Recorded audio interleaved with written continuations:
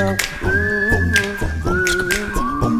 and welcome to April Favorites. I'm so excited to get this out of the way because April was just so stressful and now that it's finally over, it's just one more month closer to Christmas. So let's get straight into it.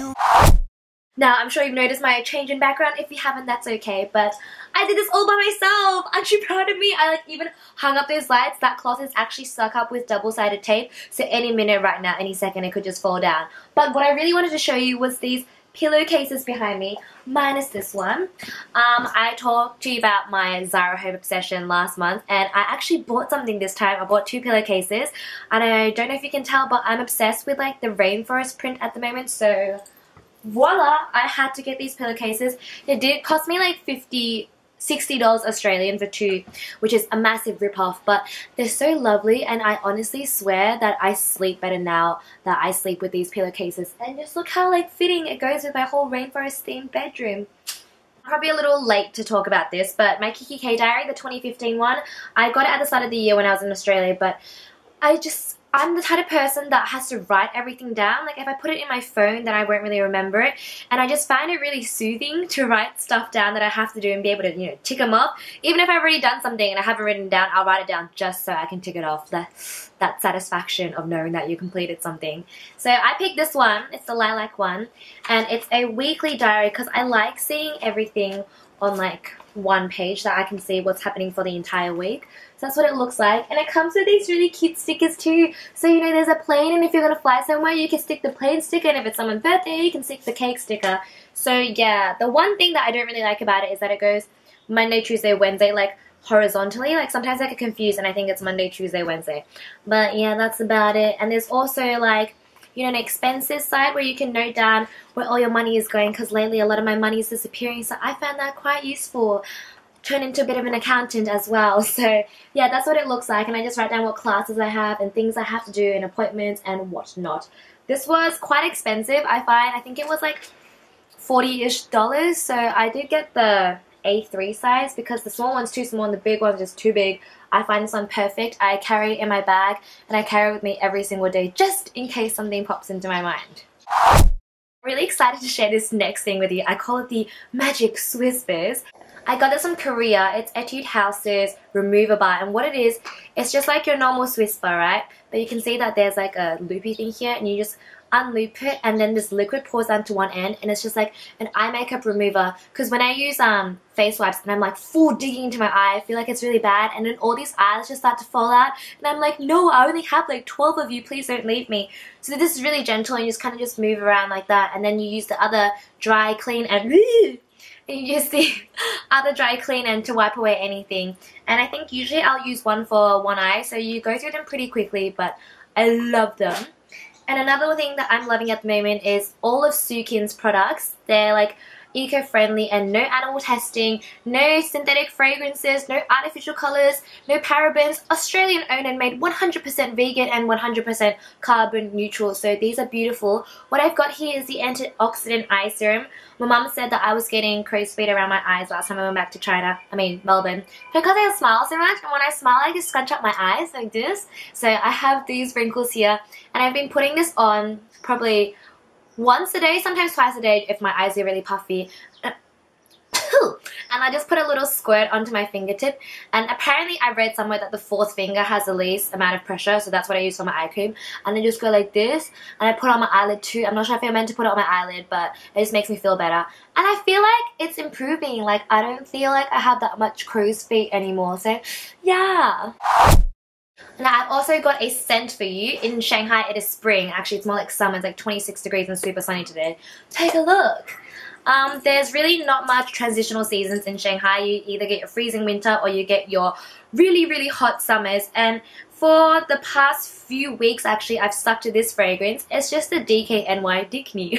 DKNY Be Delicious, the green one. I got this in the rolly form in when I was in LA because I have perfumes that I've had for five years and I still haven't finished them. They're only like that much finished. So I think it's a waste and sometimes I feel like perfumes can go off. I don't know if that's a thing. Maybe it's just me. So I just go like this. I put it on my neck and then on the wrist and then I go like that because apparently those are the best places to put it. But yeah, it just smells like apples. It's super fruity. I think it goes with every single outfit. It's very lightweight. I do carry it in my bag because I feel like I need to re-applicate every few hours because it's quite a soft scent that goes away really easily. But you know, for the price and for the packaging and for whatever this is, it's worth it and I think it's the perfect spring scent. So onto clothes now. Um, I love my, you know, shorts and short skirts and short dresses. And my mom's always like you're gonna get arthritis when you're older because you never cover your knees. So she made me get this three quarter length skirt from Forever New. And it's kind of got like a lacy florally print on it and it's three quarters. It goes around to my calves and you know what? I actually absolutely love it. It's so classy. It's so feminine. And you know, I love wearing like a crop top on the top or just a jumper a sweater or a shirt and it looks so put together and I loved it so I had to get another black one but not the same one. I got this just in a random store in China. It's got a grid pattern which I think it's super cool and edgy because it's a very feminine look, the three quarter skirt and with this more sort of industrial print to it and the sort of sub inside bit it's kind of see-through so you can see your knees. Ooh. Um, I feel like it's a very nice modern take on the three-quarter skirt. So this one I love wearing with denim shirts or just a black singlet even and just layering it with gold accessories. On to music. This might be a little bit weird but I've been obsessed with the iTunes radio. It's just in your music and then you go to like iTunes radio the first one there and then, you know, you've got your 70s, discover new artists or whatever. And my favorite is discover new artists.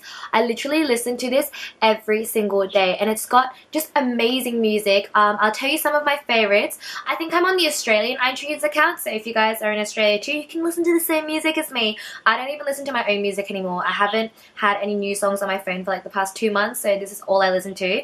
Um, I love Falling Short by Lapsley, Young by Vallis Alps, Bones by Little May, Hollywood by Tobias Jr. something, I think. So those are my top four favorites at the moment on that playlist and it just keeps going around. I think there's probably like 50 songs and they just keep replaying the same ones and you know what, absolutely love it. So you guys can check that out if you're sick of your old music. So you guys can go check that out if you're sick of your old music like me.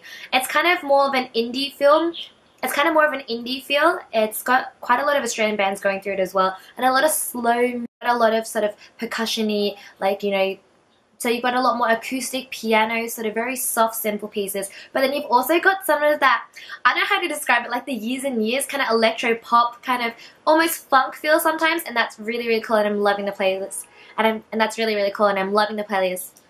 And it's got, and, it, and that's really, really and that's really, really cool because I like my music to be chill but also to have a beat to it. So if you guys are interested in that, go check out the iTunes Discover New Artists radio playlist. You know what other skill I've picked up this month?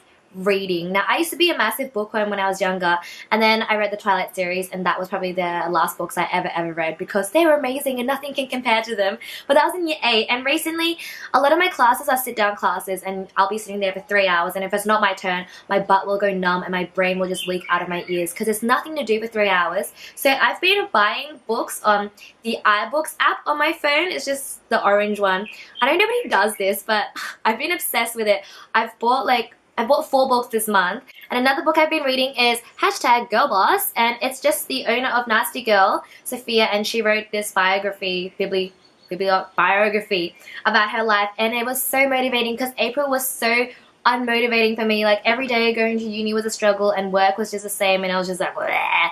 and it's just talking about how she basically went from dropping out of high school, dropping out of college, and taking up this security guard ID checking job in an art school um, just for the health insurance and then she didn't have a proper job and then she started going on eBay and then eBay turned to Nasty Gal and voila, I won't get into the details but it's so motivational and it tells you how she got from literally the bottom all the way to the top and it's got, you know, other little biographies of other girls she considers girl bosses. And there's a lot of good quotes in there and I've been reading it during class time, funnily, funnily enough, funnily enough, not paying attention in class and reading a book. I think it's worth it. And I found this new found motivation to sort of keep going for my dreams. Um, it doesn't matter if you're looking to open up a, a Nasty Gal or like an online store of your own or you just want to chase your dreams. I think this book is perfect for any girl to read who are sort of stuck in the awkward process of their lives right now, like my age, kind of 20, 21, 19, where you doing what you're supposed to be doing, but you also feel like you want something more and you're not really sure what to do after uni, or maybe you already started working and you're not sure if this is the path for you, or you're wondering whether or not you should chase your dreams. I think this book is super inspirational, and this month's quotes are actually all from this book, so let me just take a look and look for it. Now, I love this quote because I always take pride in what I wear, and a lot of people always like, oh, you're so overdressed, like, why do you bother? It's just uni, you're just going out to the post office or something. But I think it's just, I find fashion just a way, another extension of me, like another arm. Like, I just have to get dressed up and dress how I feel and wear things that make me feel good. So I absolutely love this quote. It says, Clothing is ultimately the suit of armor in which we battle the world. So I think that's absolutely fantastic. And you know, just wear whatever you want to wear. If other people say it's weird, like people have said that my outfits are weird so many times, but you know what? I do die a little on the inside, but I feel great in what I'm wearing and I really, really like it. And I'm going to go ahead and take these OOTD snaps of my outfit and post them on my Instagram still.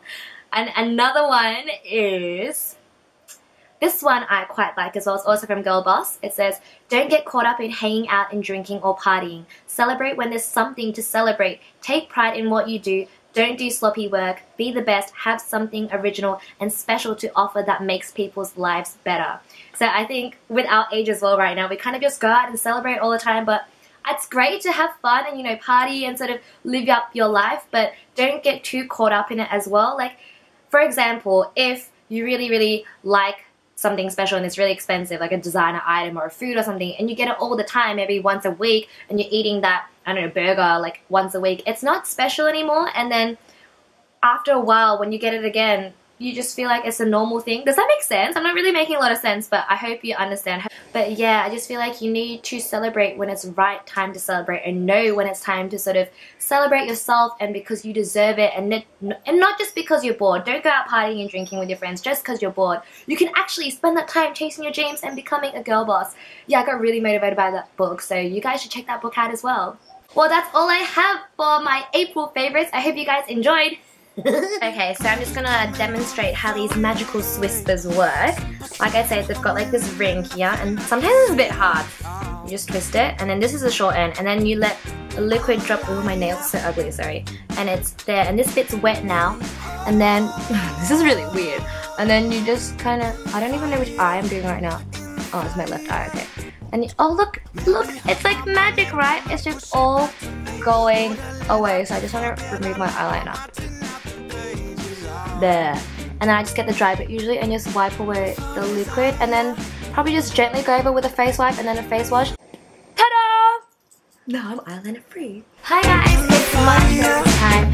My month is such a stressful month. I'm so glad it's over. I had school